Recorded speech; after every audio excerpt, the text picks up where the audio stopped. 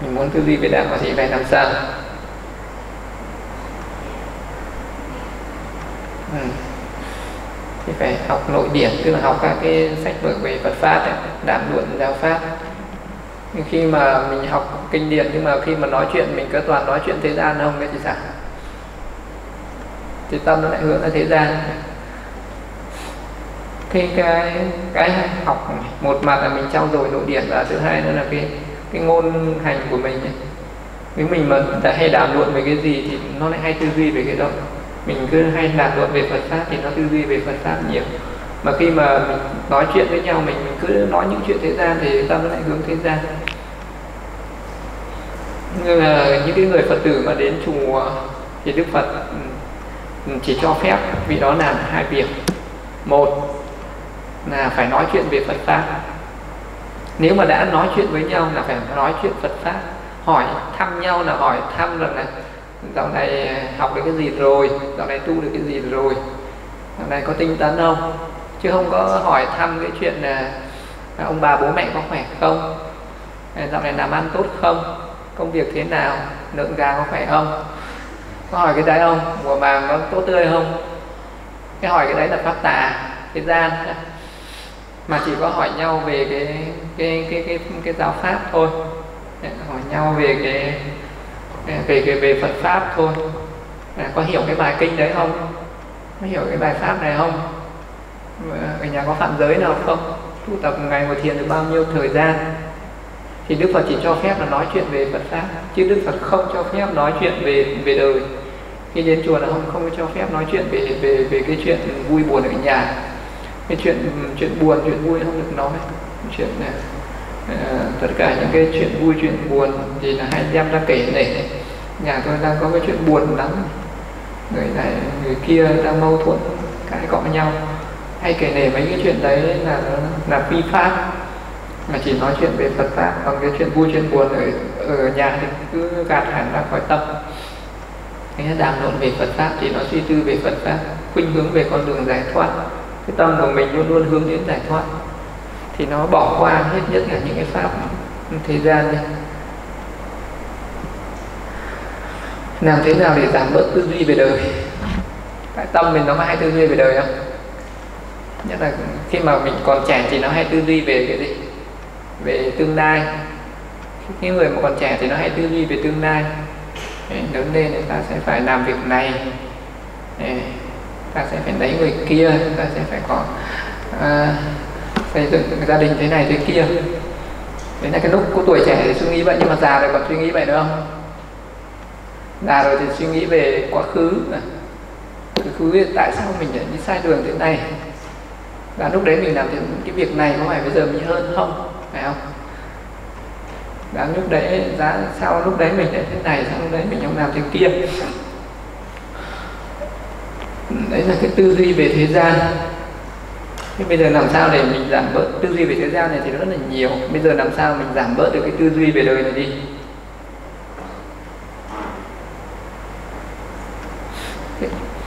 Cả cái người đi tu cũng vậy nhá. Người đi tu mà cái lúc mới đi tu tâm cứ hay nghĩ, nó vẫn cứ nghĩ về chuyện đời này rất là nhiều. Nhưng mà phải đi tu một thời gian rất là dài, có khi phải 5 năm 10 năm sau thì nó mới hết những cái tư duy về đời này và nó mới còn trở lại thuần một cái tư duy về đạo. Thì là phải một thời gian rất là dài. Mà đến cái người nào mà trong mơ mà vẫn còn biết là mình là người người tu ấy, thì lúc đấy là nó mới thuần. Còn trong mơ mà, mà mặc dù mình đi tu mà trong mơ mình vẫn thấy mình là người đời thì nó lúc ấy nó vẫn chưa thuần. Nhưng mà bây giờ cái người nào mà mới mà tập cái món ăn chay nhưng thì cũng biết ừ, cái người mới tập ăn chay mà lúc mình ngủ mình có ăn chay không? Nó vẫn mơ là gặp thịt nó ăn thịt gặp cá ăn cá liền này, lúc đấy cái tâm ăn chay nó vẫn chưa thuần nó chưa thuần nên là nó vẫn vẫn thế. Mà khi khi nào mà mà cái người đấy mà ăn chay mà nó thuần rồi thì trong mơ người ta mình nhìn thấy món nặng thôi món này không ăn. Lúc đấy nó khá thuần. Cái người giữ giới vẫn. vậy. Bây giờ mình mình đang thức tỉnh thì mình biết là ồ bây giờ mình phải cố gắng mình không sát sinh. Nhưng mà trong mơ mình có giữ được giới không? Trong mơ thì chưa chắc. Thì cái, cái tâm mà cho đến khi nào mà nó thuần một cái tư duy là nó phải rèn luyện rất là lâu năm. Phải luyện rất là lâu năm để nó mới nó mới thuần nó mới hết những cái tư duy về đời. Cái người mà hết tư duy về đời người khác có nói cái chuyện đời này nó chỉ ở cửa tai nó bay đi luôn. Nó, nó, nó ngấm ở trong tâm đấy nói tự nói đến đạo thì nó mới nó mới nó mới mở cái tâm ra nó nghe nói đến cái chuyện đời một cái là cái, cái nó tự động nó trượt đi như kiểu là nước nó trượt khỏi lá sen. Cái người khi mà nó đã ngấm này khi mà nó thuần thuần một cái tư duy về đạo. Còn cái người mà đang thuần một cái tư duy về đời bây giờ mà đưa cái pháp về Phật pháp này mà nói thì sao? Nó cũng trượt ra ngoài giống như nước nó trượt khỏi lá sen. Tại vì cái tâm nó quá thuần thục với cái cái suy nghĩ ở đời rồi. Và bây giờ nghe pháp nó ngấm không? ai là cái người ngấm pháp? Còn ai là cái người chưa ngấm pháp? Là do cái tâm của mình nó chưa bị mềm chai. Cái tâm nó chai, cần phải đánh nhiều thì nó mới mềm ra. Sau này nó mới ngấm được pháp. Tức là cái người phải nghe pháp nhiều, phải thực hành pháp nhiều, phải khởi cái niềm tin mạnh mẽ lên nhiều lần nhiều lần. Thì sau này cái pháp mình nói đến pháp này thì nó mới ngấm vào trong tâm. Còn cái người mới mới thì nó cứ phập phồng phập phồng vào tai xong nó trượt ra ngoài. Ngày mai hỏi lại, quên hết không còn nhớ gì nữa. Còn cái người mà khi mà nó thuần một đạo rồi, nói đến chuyện đời xong, ngày mai hỏi lại, quên sạch không để tâm. Cái người mà thuần đời thì không để tâm đến chuyện đạo. Cái người mà thuần đạo thì không còn để tâm đến chuyện đời nữa. Thì giờ mình muốn thuần cái gì? Muốn thuần đời hay muốn thuần đạo? Đời thì quá thuần rồi mà bớt tư duy về đời đi. Thì mình phải, mình phải nhàm chán những thế sự đi. Không ưa thích cái thế sự không đàm luận thế sự không thân cận người đam mê thế sự không chấp thủ những kiến thức thế gian. Ờ, những cái này thì nó sẽ giảm bớt những cái tư duy về đời.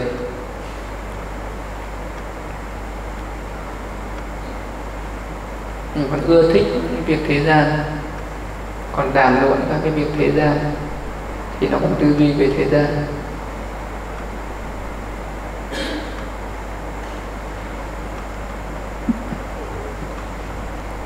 Bây giờ mà muốn ờ, xem là mấy ông ông thầy đi tu này ông ông ấy có cái tư duy về đời hay tư duy về đạo để ngồi nói chuyện với ông. Xem là ông hay nói về chuyện gì. Ông nói đủ các cái chuyện ờ, đông tây kim cổ à, các cái chuyện thời sự trên thế giới thời sự trong nước tin tức thể thao cập nhật. Trong ngày chuyện gì ông cũng biết hết. Chỉ sẽ biết được cái tâm của ông. Còn ờ, khi mà nói đến cái chuyện gì ông chẳng biết tôi chả biết chuyện. Thì em đấy thì ít ít cái tư duy về đời hơn thì cái người người tu tập nó vậy có cái người thân viễn ni nhưng mà người ta tâm người ta không viễn ni thân thì người ta tránh xa được đời rồi nhưng tâm nó vẫn hướng vào đời cứ hướng là đời hướng là đời.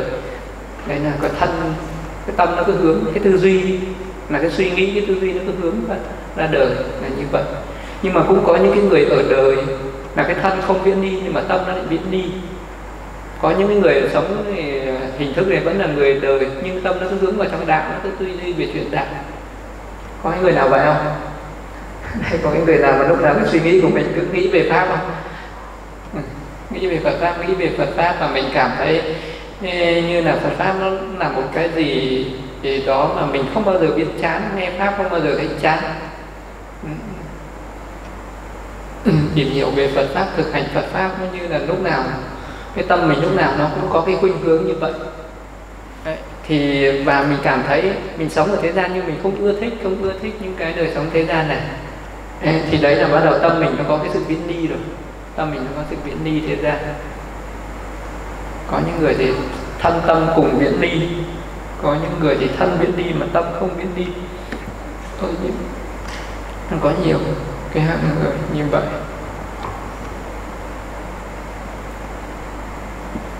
Giờ mình đọc nhiều những cái sách thế gian là mình cũng bị nhiễm thế gian. Đọc nhiều sách Phật pháp thì mình mới ảnh hưởng đến cái Phật pháp.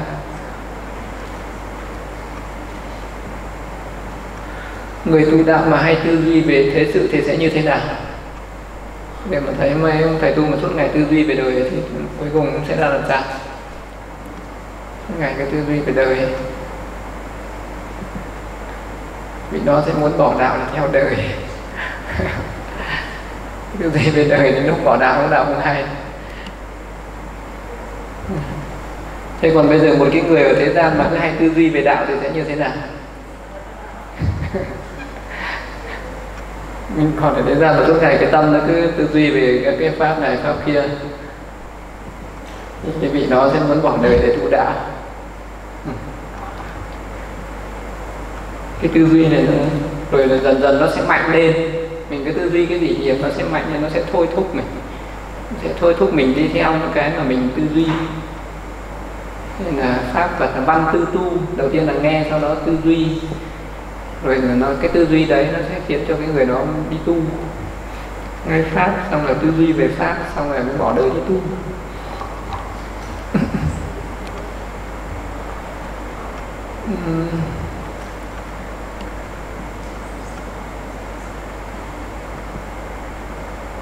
hết cái tránh tư duy đến tránh ngữ ha.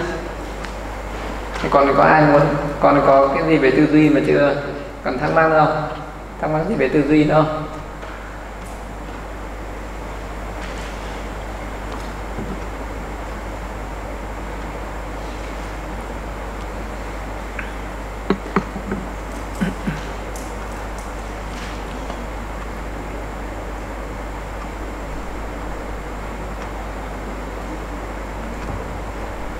không ngữ ngữ là cái gì ngữ là ngôn ngữ à? ngữ là cái lời nói này nó cũng là một trong những chi của bát chánh đạo. Tư duy là một trong những chi để đi đến niết bàn của bát chánh đạo. Ngữ là một trong những chi đi đến niết bàn của bát chánh đạo.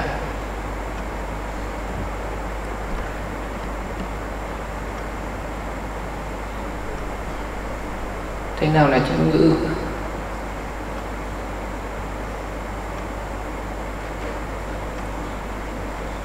Tư duy có trước hay ngôn ngữ có trước? Mình muốn nói cái gì mình phải suy nghĩ trước, phải không?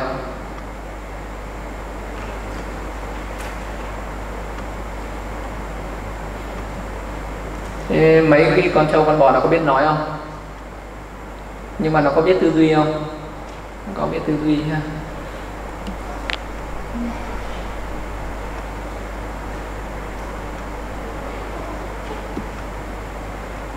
Tránh là bằng chân tránh ngữ là lời nói chánh ngữ là lời nói chân tránh.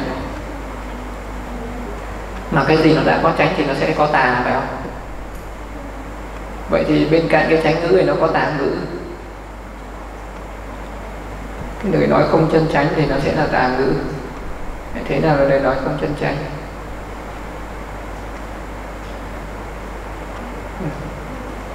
Cái tư duy nó cũng thế. Nó có cái tránh tư duy thì nó sẽ có cái tà tư duy mà cái lời nói nó cũng thế. Nó có cái lời nói chân chánh thì nó cũng có cái lời nói tà. Ngôn ngữ nó cũng vậy.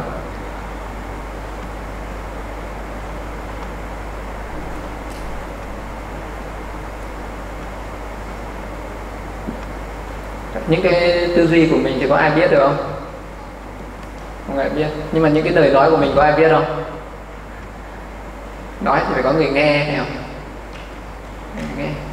Mình, suy nghĩ bậy thì có ai biết không?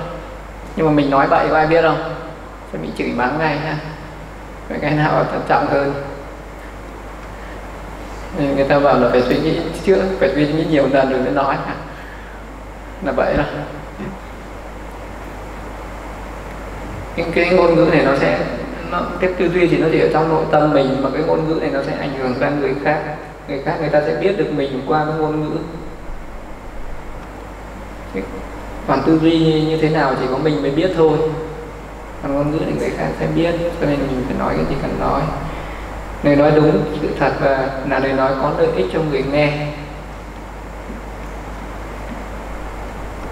Như thế nào là lời nói chân chánh? Là lời nói đúng với sự thật và có lợi ích cho người nghe, là lời nói chân chánh. Cái lời nói chân chánh là đúng với sự thật và nó có lợi ích cho người nghe cái sự thật ở thế gian thì nó có lợi ích không? Những cái sự thật mà thế gian quy định thì có những cái nó có lợi ích có cái nó không có lợi ích. À, có cái có lợi ích. Có ở thế gian thì quy định cái pháp thế gian quy định thì người ta chỉ căn cứ vào cái lợi ích trước mắt mà người ta có thể nhìn thấy được. Và người ta không không không không căn cứ vào cái lợi ích lâu dài về sau. Còn cái sự thật ở đây là sự thật của tự nhiên, sự thật của chân lý.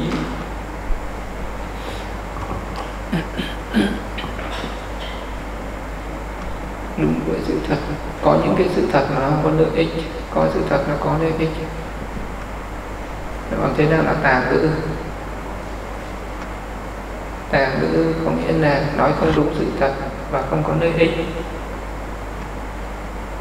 Nói sai với sự thật và không đúng lợi ích thì đó là tà ngữ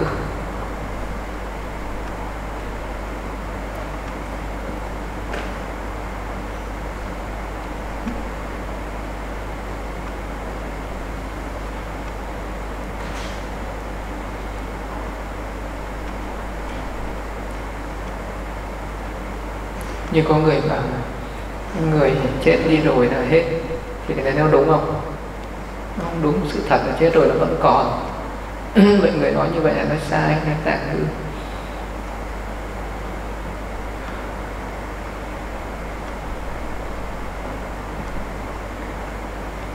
nói đúng sự thật nhưng không có lợi ích thì là tránh hay tà có người thì nói đúng với sự thật nhưng mà nó không có lợi ích thì sao?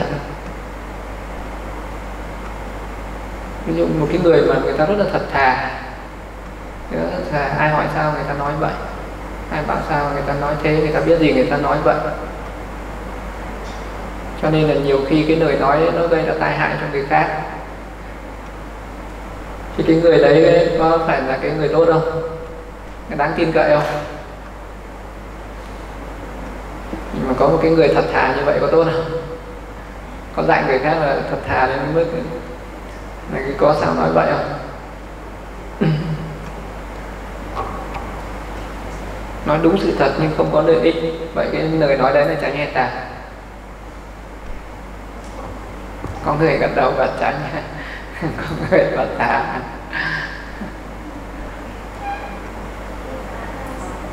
Cả hai hay là một. Nó chỉ có một thôi, nó vẫn là tà.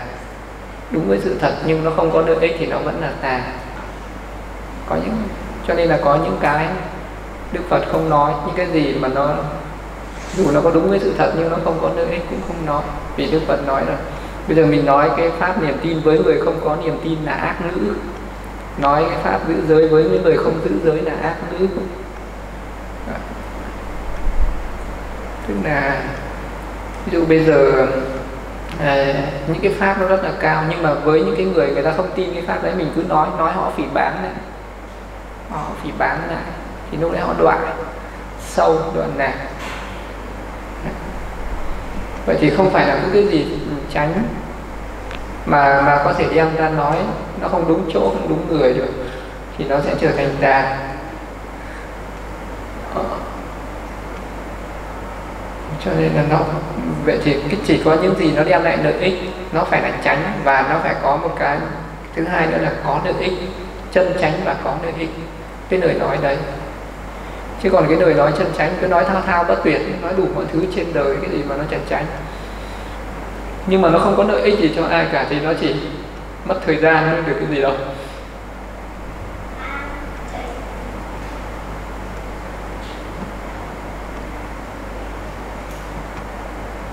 Nói đúng sự thật, có lợi ích, nhưng người ta không thích nghe thì tránh hết đà nói đúng sự thật và có lợi ích nha nhưng mà cái người nghe người ta không thích nghe. Thì là tránh người tà. Hay là tránh ai và tà. Nói nói đúng. Mà cái lời nói này nó có lợi ích. Ờ, à, ở ngoài đạo kia là có một cái núi vàng kìa. Ra đấy mình lấy ra đấy mình lấy về sẽ được giàu có. Mà cái người này nói thật. Nhưng mà làm gì có chuyện đó. Tôi không muốn nghe cái chuyện đó. Ừ. nếu nói đúng thời thì nó mới đã tránh nói đúng thời đúng lúc đúng thời đúng thời điểm đúng lúc thì nó là tránh ví dụ như cái giáo pháp giải thoát ấy thì nó là tránh pháp. Nói ra thì mang lại cái lợi ích cho người nghe. À, nhưng mà không phải lúc nào không không phải là lúc nào cũng là cái lúc mà nói được đôi khi nó phải đúng thời, đúng lúc. Thì bây giờ đi ra đường người ra chợ thì lại đây nghe pháp này. nghe pháp. Mà bị điên rồi nó đánh cho tay vời thế nhưng mà khi mà vào chùa là thì nói được, mọi người đến đây là để nghe pháp mà. Tôi cứ nói. Nhưng tôi đi chỗ khác là không dám nói, nó không phải thời, không phải lúc, không phải chỗ. Đáp đúng nhưng mà nói không đúng chỗ, không đúng nơi, không đúng lúc, không đúng người thì nói ra là mắc họa, ăn họa, ăn ăn họa vào thân đấy. Ừ. cái đây dám nói, có khi đi đến chùa khác thì chắc dám nói. Đến chùa tôi mà tuyên truyền như này, chùa tôi là để cúng bái cho mọi người. Nên hẹn là lại mọi người tu tập à. Đi ngay. Kể cả cái pháp chân chánh có lợi ích, nhưng mà nói không đúng thời, nó vẫn là tà. Còn nếu mà nói đúng thời, đúng lúc, đúng chỗ, đúng đối tượng thì nó mới là chánh vậy thì lời nói thì rất là dễ, nhưng mà để mà nói được cái lời nói chân tránh có lợi ích và đúng cái thời điểm thì nó có dễ không? Không có dễ tí nào hết. Chỉ có nói nhảm, nói những cái kiểu nhảm nhí thì nó mới dễ thôi. Nói những cái điều chân tránh nó rất là khó.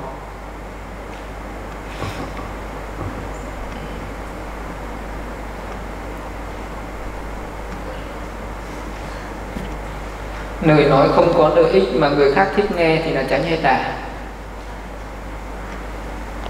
Đó, bây giờ ông nói cái gì mà chúng tôi thích nghe thì cái nào? Bây giờ nha bây giờ ờ, nói cho cái pháp để thích nghe ha.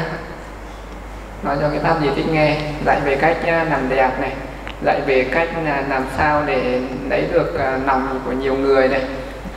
Dạy về cách là làm sao để có được giàu sang này sắc đẹp an vui này dạy về cái cách làm sao để tăng cường về trí tuệ này dạy về cái cách làm sao để có được cái sống lâu này. Cái pháp này có thích nghe không? Pháp đấy thích nghe quá. Bây giờ ai mà nói cái pháp đấy thì mới, mới đông hội chúng đến nghe.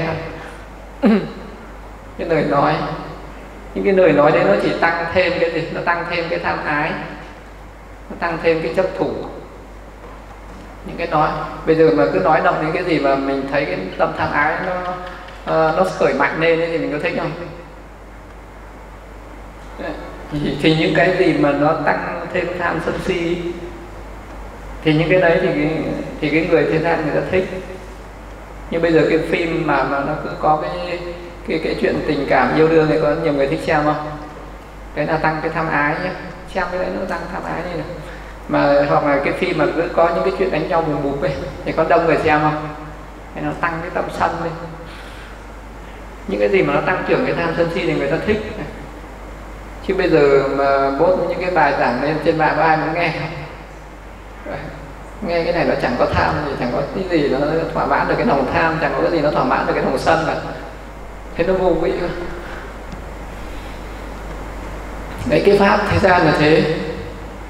Pháp thế gian nó hấp dẫn bởi vì nó, nó tăng trưởng cái tham ái và tăng trưởng cái tham sân si nên nó hấp dẫn. Bởi vì cái tâm của mình nó tương ứng. Đồng thanh tương ứng đồng khí tương cầu. Còn cái à, cái pháp mà nó cứ làm cho người ta đi tham đi sân đi si thì làm sao? Thế nó xa không phải bởi nó nó mãi đâu đâu không liên hệ đến cái tâm của mình hết. Người nói không có lợi ích mà người khác thích nghe thì tránh hay tà vậy cái mà người ta thích đấy là tránh hay tà tà tà pháp thì phải thích nghe mà tránh pháp thì có mà có người nghe. Hỏi, như thế nào mới là lời nói có lợi ích? Như thế nào là lời nói không có lợi ích có lợi ích thế nào? Vậy lời nói có lợi ích là khiến cho người nghe hiểu biết về sự thật về nỗi khổ của sinh tử người nói có lợi ích.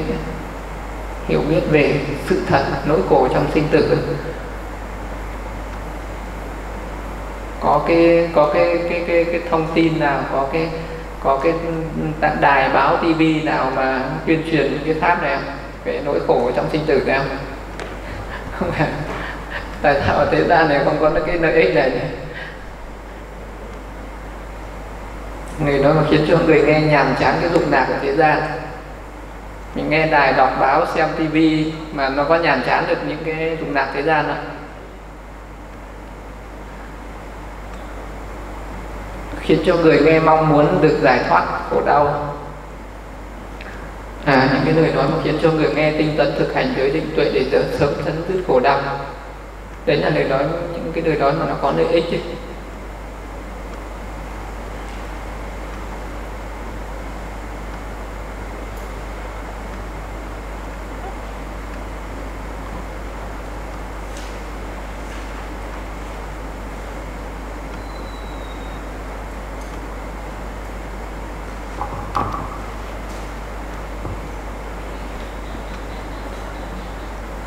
ở đời thì nó, người ta cũng nói về cái nỗi khổ ở thế gian. Người ta nỗi khổ đưa tin ở nơi này bị à, dịch bệnh ở nơi kia bị à, lũ lụt ở nơi kia bị xâm thần ở nơi kia thì có những cái nạn đói nạn. Tất cả những cái dịch nạn này thì chẳng kia mình xem à, các cái tin tức thì mình cũng thấy thế gian đầy dẫy khổ đau này. Xem những cái tin tức thì mình thấy đầy dẫy những khổ đau ở thế gian. Nhưng mà có khi nào có cái tin tức là làm cho mình nhàm chán được những cái dục lạc thế gian có cái tin tức nào làm cho mình nhàm chán dục lạc thế gian không?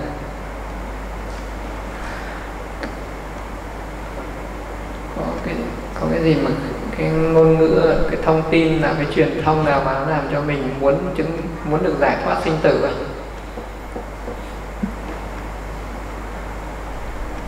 chỉ có ở trong giáo pháp chỉ có trong Phật pháp thì mới có những cái lời nói. Đấy nói là những lời nói có lợi ích. À. còn những cái lời nói vô ích là khiến cho người nghe hiểu sai sự thật về nỗi khổ trong sinh tử.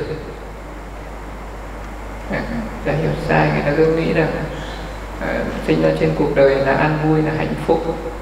Sống ở cuộc đời này à, hứa hẹn đầy những cái hạnh phúc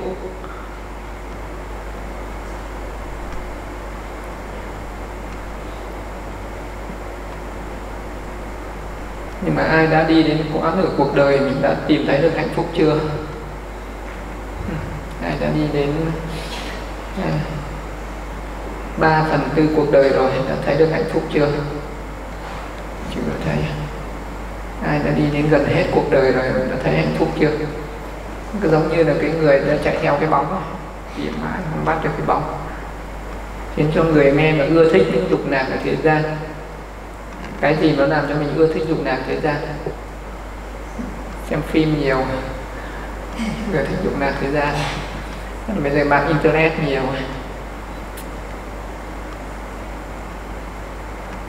Nghe nghe nghe nhạc. Nghe nhạc mà nó ca ngợi những cái bản nhạc mà nó ca ngợi về cái tình yêu. Thì mình có ưa thích không? Thích nghe những cái nhạc đấy không? Khiến cho người nghe không còn khiến cho người nghe không muốn giải thoát sinh tử nữa. Khiến cho người nghe thực hành tà pháp tà giới, tà định và tà tuệ. Đấy là những lời nói vô ích.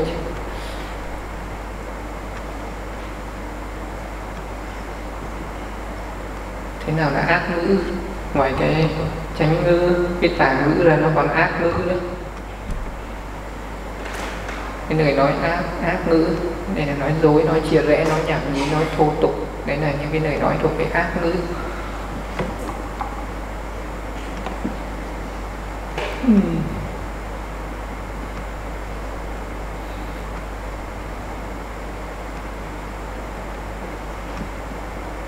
thế nào là nói dối đã bao giờ nói dối chưa nói dối là làm sao không thấy mà mình nói là có thấy để nói dối nha nên mình không nghe mình nói là có nghe thấy mà lại nói không thấy ví không thấy thì nói là có thấy mà thấy thì nói là không thấy nghe thì nói là không nghe mà nói là có nghe mà nghe thì nói là không nghe không biết, nói là biết và biết thì nói là không biết nên là nói dối. Có khi nào mình hay nói cái này không? Dối.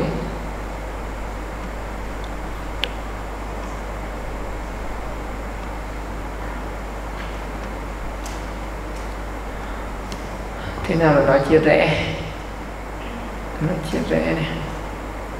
Nói chia rẽ, tức là làm lời nói đi kèm với ác tâm làm cho hai người đang thân thiết nhau, trở thành oán ghét nhau. Đấy là nói chia rẽ. Hai người người ta đang chơi thân với nhau, mình đến mình nói xấu người ta. Nói xấu. Người này người này là có nhiều cái tánh xấu lắm, cái kiểu nhiều tính xấu lắm. Làm cho hai người chia rẽ nhau. Đấy. Đây gọi là kế nghi gián.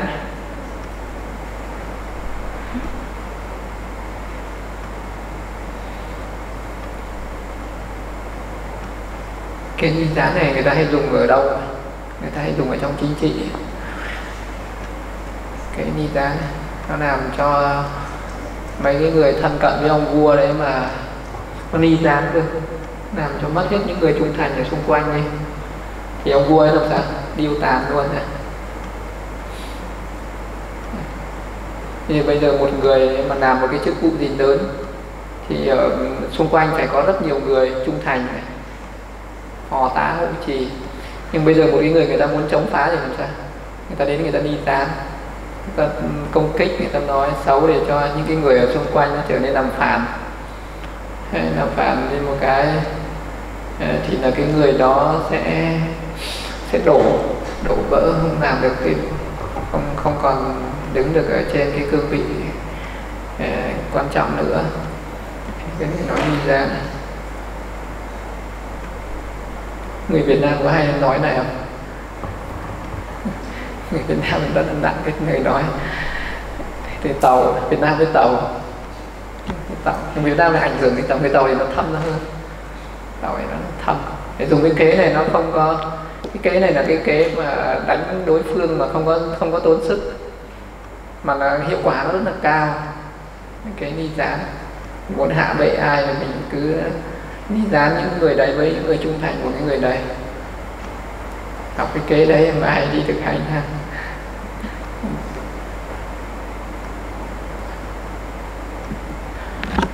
Thế nào là nói nhảm nhí?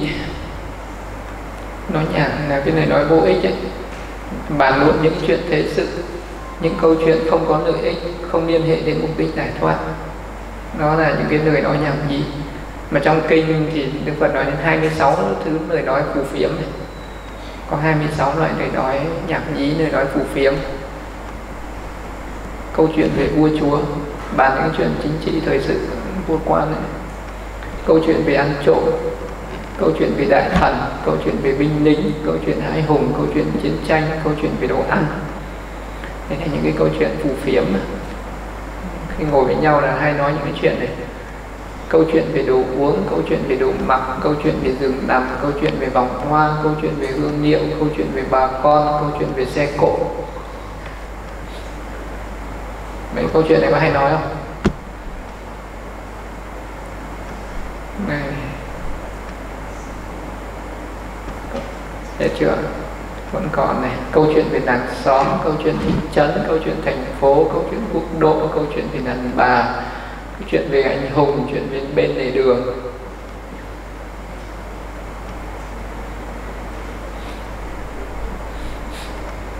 Cái người người người người nam giới, người ta ngồi với nhau thì hay nói chuyện gì? Hay nói chuyện về các anh hùng này. Hay nói chuyện về quốc độ này. Hay nói những cái chuyện mang cái tính lớn này. Mang cái chuyện tính thời sự. Đàn bà thì ngồi với nhau thì họ nói chuyện gì? Chuyện gì? Chỉ đàn bà hay biết.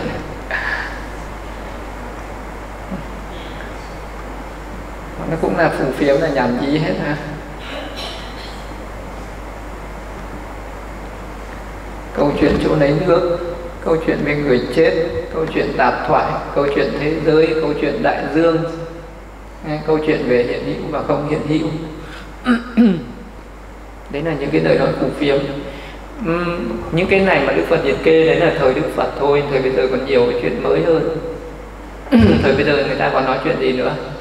Câu chuyện về thể thao bóng đá câu chuyện về phim truyền hình câu chuyện về internet câu chuyện về điện thoại di động. À, câu còn nhiều câu chuyện nó nó về nó phát sinh về sau này nữa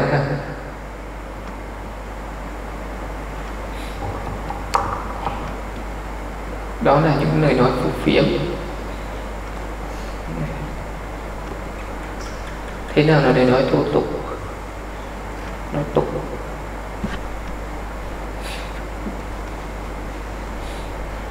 Biết là tại sao mà học sinh hay nói tục mấy cô giáo đi đại học thấy học sinh nó hay nói tục không? Nhận giờ ra chơi, nói tục khủng khiếp ấy những người Việt Nam nói tục khủng khiếp mà cái đâu cũng có cái tệ nạn nói tục. Về nhà xem bố mẹ có nói có hay nói tục không? Có lẽ là, là ảnh hưởng về bố mẹ. Những người bố mẹ hay nói tục hay là nó truyền cho con cái. Con cái ta thì người lớn hay nói tục chứ trẻ con nó mới sinh ra vì nó biết nói tục. Nó toàn cho bố mẹ truyền lại. Bố mẹ nói tục thì con cái nói tục theo. Ừ, toàn văng tục chửi bậy không cái nó khủng khiếp với cái cái tệ nạn nói tục chỉ mấy đứa trẻ nó đến chùa nó cũng nói tục mấy cái người cái đến chùa làm nói chuyện nhau nói tục nhau nói tục. Khiếp làm sao tệ nạn nói tục tại sao không ai giáo dục hệ thống giáo dục đi đâu hết, để cho trẻ con nói tục. Chửi rủa mắng nhiếc, vu khống, chê bai, chỉ trích. Người nói tục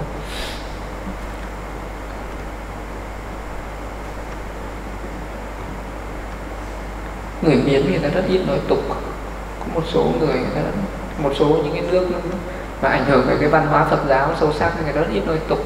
Người Thái Lan những cái người mà những cái nước mà Phật giáo là quốc giáo người ta được giáo dục từ nhỏ.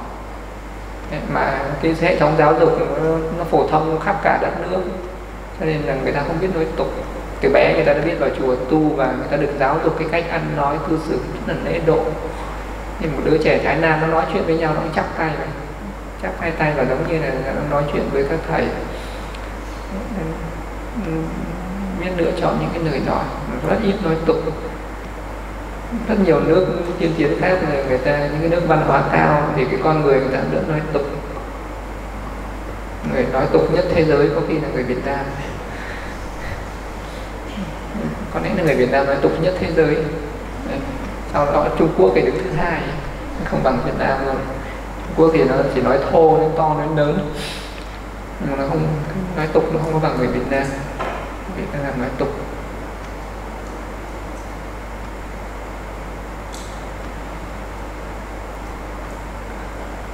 Chê bai mắng nhiếc nói xấu nhau.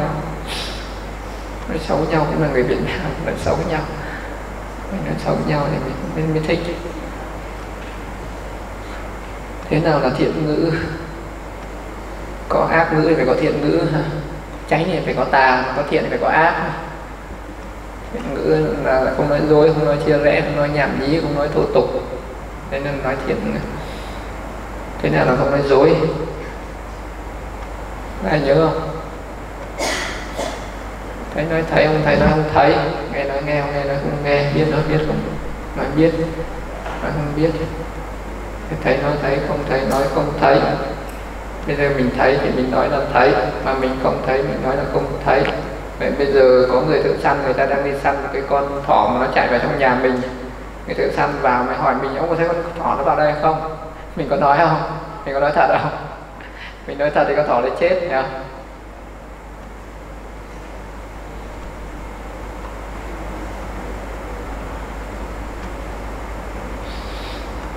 vậy thì vậy thì cái lời nói thật nhưng mà nó phải có lợi ích nữa. Cái lời nói thật này này, nhưng mà mình phải xét đến cái lợi ích của nó nữa. Còn cái lời nói thật này mà mình không có nghĩ lời nói, lợi ích của nó là không có trí tuệ, nó phản nghe nói nghe, không nghe nói không nghe. Biết nói biết, không biết nói không biết. Đấy nó chỉ là tương đối thôi, nhưng mà cái lời nói thật bao giờ nó phải đi kèm theo với lợi ích.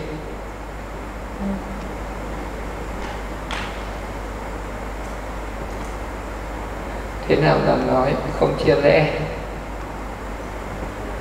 Không chia rẽ là này nó đi kèm với từ tâm, khiến cho mọi người trở nên đoàn kết, hòa hợp, thương yêu, gắn bó nhau. Đấy là lời nói không chia rẽ. Nhưng mà bây giờ mình lại làm cho hai người người ta đang là cái người bình thường và người ta lại có cái tình yêu thương mãnh liệt với nhau thì sao? Thì cái, cái lời nói đấy nó trở thành cái gì? Nó còn là ừ. ví dụ như cái, cái người mà hay đi làm cái nghề làm mối làm mai mối thì cái người đấy nó có tạo được cái thiện nghiệp với không chia rẽ này không? Thế là cái thiện nghiệp gắn bó lại với nhau phải không? Gắn bó lại với nhau. Thì cái đấy là thiện nghiệp hay bất thiện nghiệp? Thiện hay bất thiện? Cái đấy thì, thì tương lai sẽ đi về đâu? Tương lai cái quả nó trổ thì cái người đấy sẽ là làm sao? Quả cái quả của cái nghiệp mà cứ đi chắp mối cho nhau ấy. Thì không biết là đến lúc nó trổ nó như thế nào mà những người đấy nó sẽ có bao nhiêu mối nữa. Cái, cái người đấy sau này trở thành cái kiểu mất đấy cái Kiều hay là thành tú bà này này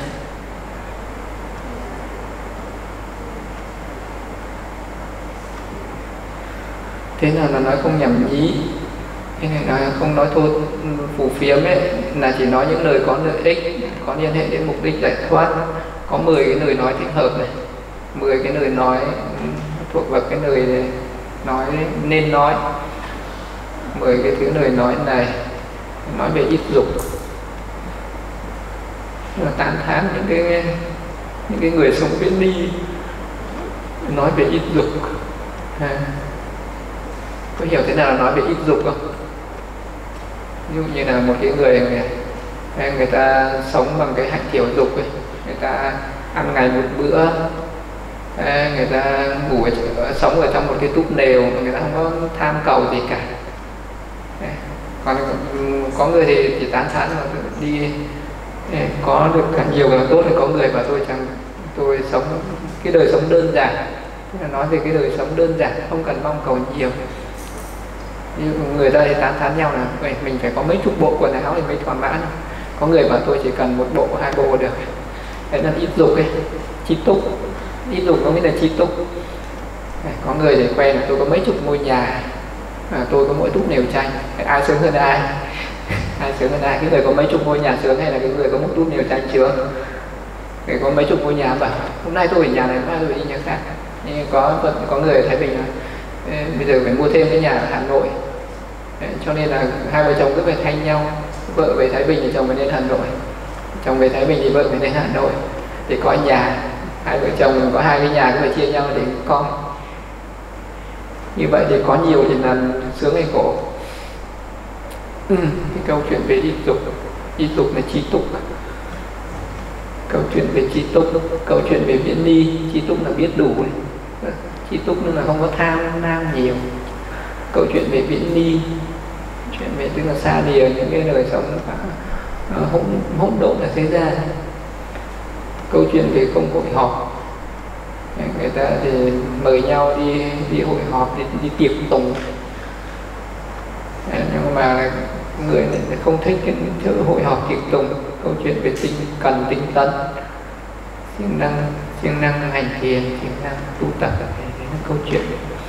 Câu chuyện về giới câu chuyện về định câu chuyện về tuệ câu chuyện về giải thoát câu chuyện về giải thoát chi kiến. Có hay nói những cái chuyện đấy không?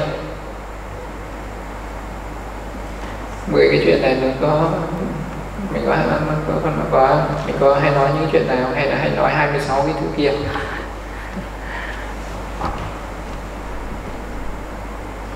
Đấy là những cái câu chuyện mà à, có lợi ích. Chỉ có 10 cái câu chuyện này là có lợi ích. Mình có thể nói trong những cái câu chuyện này. Thì thì cái tâm của mình nó mới an tịnh. Nó không có phải là phù phiếm. Người nói về những cái chuyện này là nói về, đấy là tránh ngữ. Ừ, nói những cái chuyện phù phiếm là tà ngữ. Thế nào là không nói thô tục? Không nói thô tục là những người nó có văn hóa có giáo dục có từ ái có trí tuệ này cái người nói không thô tục. Nên là cần biết ví dụ người đó nói có cái sự kính thưa kính gửi kính bạch kính thưa đấy. À, nói tương hô nó có nó có nề nếp có văn hóa. À, Thì cái đấy là những người nói không thô tục bây giờ viết sách vở để giảng giải sự thật thì có phải tránh ngữ không? Có những người người ta không nói nhưng mà người ta viết nách ấy. cái ngôn ngữ thì nó nó có những cái ngôn ngữ nó có bao gồm nhiều thứ. Ngôn ngữ nó có ký hiệu nó cũng là ngôn ngữ, ra dấu nó cũng là ngôn ngữ. Mình biểu hiện ở trên ờ, trên thân mình nó cũng là ngôn ngữ. Ví dụ như cái gật đầu, cái nắc đầu Ờ, thì nó cũng là ngôn ngữ. Cái dùng cái tay đã giấu nó cũng là ngôn ngữ. Ờ, mình viết nách ra giấy bởi nó cũng là ngôn ngữ. Nó cũng ngôn ngữ về một người mà viết sách. Ờ, thì giảng giải cái sự thật thì nó cũng là tránh ngữ. Đấy, nó cũng thuộc về ngôn ngữ. Ở đời dạy truyền đạt cho nhau những kiến thức những hiểu biết về các pháp thế gian thì có phải tránh ngữ không?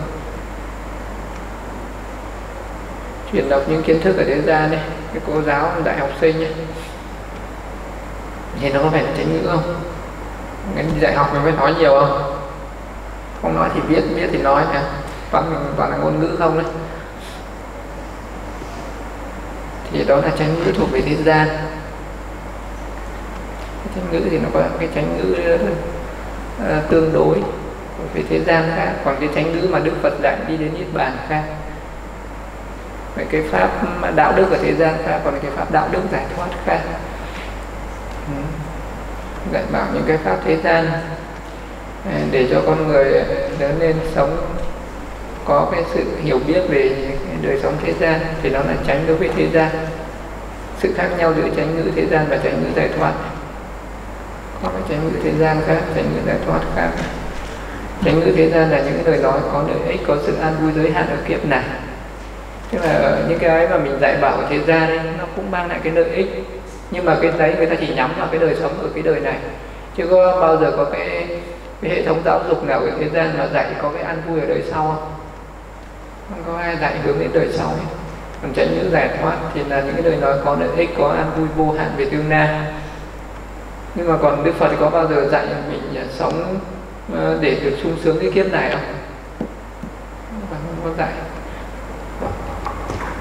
ừ, đức phật chỉ ờ, dạy này mình có cái sự an vui vô hạn về tương lai về hôm nay và mãi mãi. Có thể là có cái sự an vui đấy an vui hôm nay và mãi mãi. Chứ không phải là mình chỉ có cái an vui giới hạn ở kiếp này ở đời đại nhau là vì những cái cách nào bây giờ à, phải làm những cái việc. Ví dụ bây giờ mình muốn có cái đời sống an vui ở kiếp này mình có rất nhiều cái nghề nghiệp cái công việc à, phải làm ở kiếp này nhưng mà cũng chỉ nghĩ đến cái lợi ích trước mắt thôi. Không bao giờ nghĩ đến cái lợi ích sâu xa hơn. Cái pháp thế gian là chỉ chỉ nhìn thấy cái lợi ích ngay trước mắt. Ừ còn cái cái giáo pháp là nhìn đến cái lợi ích ờ, mãi mãi về sau không bị giới hạn. Nên cho nên cái cái cái, cái pháp học ở thế gian khác còn pháp học về về về Phật pháp khác.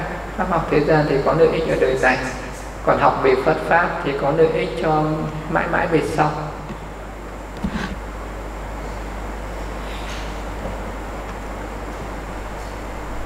Thế nào là tà ngữ thế gian và thế nào là tà ngữ thuộc về giải thoát? Cái tà ngữ thế gian là những cái lời nói sai trái với sự thật, những quy định của thế gian. Tà ngữ thế gian cái lời nói nói ra nói dối ở thế gian này.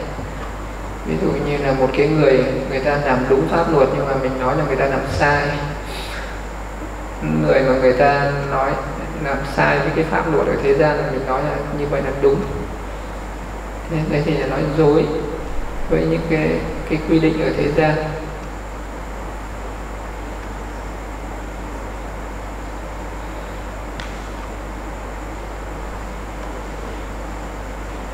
Còn giải thoát là những cái lời nói sai trái về sự thật về bốn chân đi giác ngộ.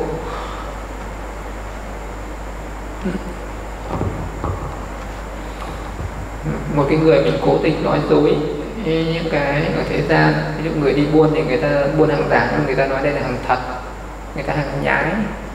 Người thầy thuốc, người ta cho cái thuốc giả, người ta trộn vào cái thuốc thật người ta bán người ta làm nhiều cái ở thế gian thì người ta làm sai trái cái nhiều lắm. Thì những cái đấy nó sai trái với cái pháp ở thế gian những quy định của thế gian còn cái tà ngữ giải thoát là những cái lời nói sai trái cái sự thật về bốn chân lý. Cái tà ngữ giải thoát này thì nó liên quan đến các cái các cái vị giáo sĩ, đạo sĩ, những nhà truyền giáo, những nhà truyền đạo. Để mỗi một người có những cái tư tưởng, mỗi người có những cái pháp môn, mỗi người thì lại có những cái giáo lý tuyên truyền cái giáo lý khác nhau. Ai mà nói đúng, ai là người nói sai, ai là người biết được đúng với sai đây? Thế ta mình chỉ biết niềm tin thôi. Ô hết rồi. Chánh nghiệp thì để bài sau ha. Tuần sau ấy mới đến chánh nghiệp, chánh ngữ. Mới đến hôm nay mới hết được cái chánh tư duy và chánh ngữ. Còn bài sau là chánh nghiệp, chánh mạng.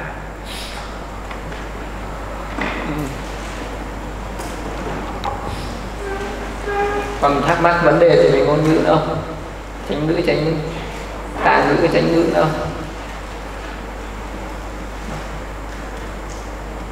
thế là biết thế nào là chánh kiến rồi nhá. Chánh tư duy rồi chánh ngữ rồi cái ba cái rồi. Còn năm cái nữa.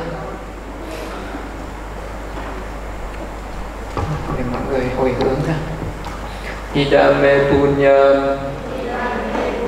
Asawakadam Wahamutu. Tidak Bunyam Nibadasa Ajazo.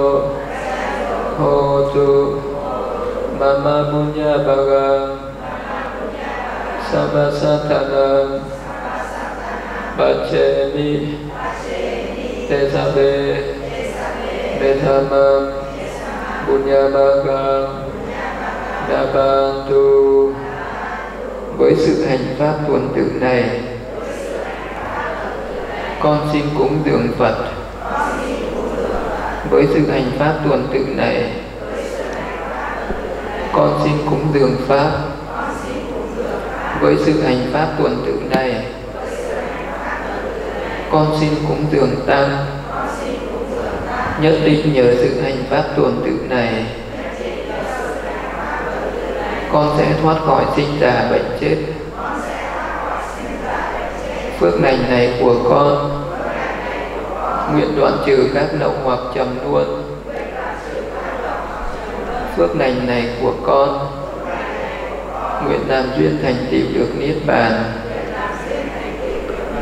Phước lành này của con, xin chia đến tất cả chúng sinh. Mong tất cả hãy thọ nhận bước phước ấy đều nhau. Sa tu sa tu